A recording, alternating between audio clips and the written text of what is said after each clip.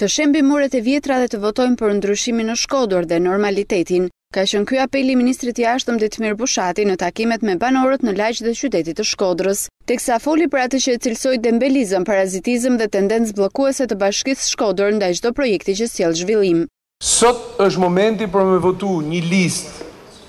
të Shkodrës, një listë shkodranëve për Shkodrën, një listë njerëzve të zakonshëm, njerëzve normal, si puna e Teutës, si puna Senicë, që ecin në kamë këtë qytet. Drejtuesi politik i socialistëve në fushatën për zgjedhjet e njëzet e pesë qershorit në Shkodër, solli në vëmendje edhe një tjetër kategori që PD sipas tij e la në baltë, ish të persekutuarit. Në këtë zonë ka një pjesë njerëzve që kanë vujt gjatë regjimit komunist. Po ban me i marrë edhe faktet, edhe për shtresën e ish të përndjekurve, se kush ka kenë ma afër shtresës të ish të përndjekurve,